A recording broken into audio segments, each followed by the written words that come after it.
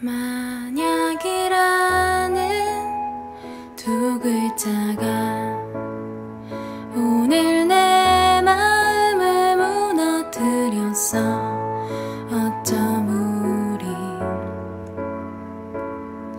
웃으며 다시 만날 수 있어? 그렇지 않니? 음악을 듣